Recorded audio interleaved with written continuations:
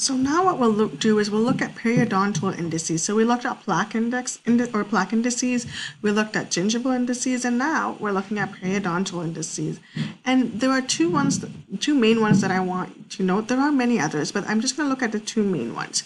So the first one is PDI, Periodontal Disease Index. Now this is no longer used, so I don't want you to worry too much about this one. But the way they used to do this one was they used the Ramfjord's teeth again. They're, the teeth are listed um, over here. Three, six, sorry. So the teeth are listed here. And what they did over here was they um, used to look at the dentition with just those with just these teeth area and they would assess the dentition the teeth rather by um, looking at what the gums looked at and look at and they were also looking at the pockets how deep the pockets were whether any cows that sort of thing so they gave each tooth um, a score from zero to six and then they averaged them to come up with a with a score for pdi and you can see here, these are the ranges that they had from 0 to 6. So if they had just gingivitis, it would be 0 to 3. But if they had periodontitis, it would be somewhere from 4 to 6. So depending on the tooth um, that they were looking at, it would be scored appropriately. And there is ranges for gingivitis, ranges for periodontitis, and then they would average the score. That's no longer used, so that's why I don't want you to uh, worry about this too much. Just know that it exists and they used the Ramfjord teeth and they were given a score of 0 to 3 for gingiva or gingivitis and 4 to 5 for if there was any pockets or periodontitis, if there were any deep pockets. The one that is used now is CPITN, the Community Periodontal Index of Treatment Needs. And, it, and I'm linking it with the PSR because the PSR gets incorporated uh, with the, when doing this type of indices. So what you do is you're measuring for actually what this what this whole thing is. This index looks at uh, pockets, bleeding, and plaque, and it also looks at retention factors, which I will um, show you. And sorry, so for retention factors, I want you guys to think about like, are there any defective margins? Are there um, like overhangs and stuff like that? That's retaining plaque, that's retaining calculus. So the way it's done is that they use a CPITN e-probe, which is like this.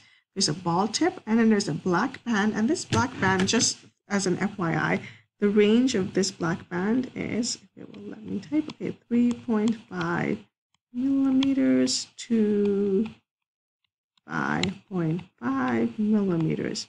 So if you're probing and, and you know you're you're the gingival margin kind of comes over here. That's a 3.5 at the very top of the black band. And at the very end of the black band, the measurement is 5.5. That's just as an, as an FYI. So the way this works is you probe each sextant. So each sextant gets probed with this with the CPITN probe. And when you probe each sextant, you record the highest reading in each sextant, the highest uh, score in each sextant is recorded. So when you do a PSR, it kind of looks like this. Um, PSR kind of looks like this, where this is this is sextant one, section two, section three, section four, section five, and section six. So you probe sextant one, you probe the entire dentition from here to here. You probe the entire dentition on sextant one, and you record the highest reading. And if the highest reading was a three, you would put a three there. It could be a two on sextant one. It could be a three on sextant um, three, and, and so on and so forth. So these are just hypothetical readings that you can get. So let's look at how you, you can get a three or how you can get a two or how you can get a three. This is not a three millimeter probe index. No, it's a three score. It's a score of three. So let's look at how you can do this. So if I were to probe, oh, and you can even have zero. So zero is also an option as well. If I were to probe in an area and I got um, a code of zero, that means that in this area, first, the band is completely visible. Second, there is no calculus or defective margins, no overhangs or um, any um, defective margins, any bad restorations. And the, the gums look healthy. If the gums and everything look healthy, there's no bleeding, no calculus, um, you can say that is given a score of zero. So if that was the sect, if this was the sextant here, I would put this as zero for sextant five. Code 1, okay, again, the, the black band is exposed.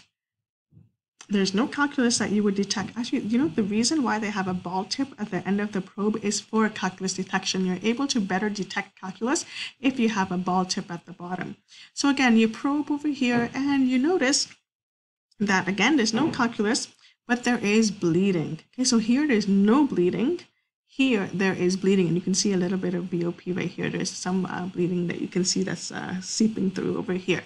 So if there is bleeding but no calculus, so in this case, the bleeding must be there because of plaque.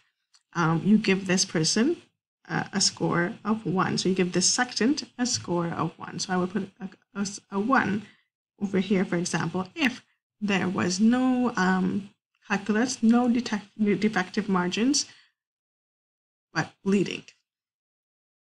Code 2, again, black band is visible, right? We still see the black band in code 2, but now you, see, you can detect calculus or you can also see defective margins as well, so overhangs. So this is code two. There's and because you can see, you can feel calculus, there likely would be bleeding here, but the moment you detect calculus, it becomes a code two. In code zero and code one, there's no calculus detected. Code two, there's calculus detected. Code three, look at the, where the band is right now.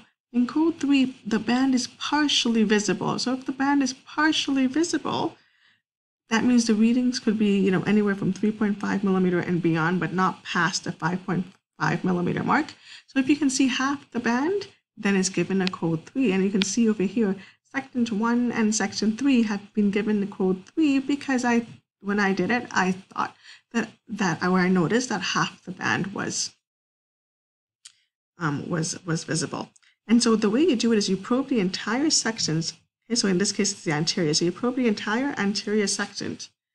Okay, and then the deepest code gets put in here. So in, in this case, for example, if I were to probe the entire anterior section, this perhaps was my deepest reading. Everywhere else it wasn't as deep. And because this was my deepest reading for that section, that code, that three, gets put in.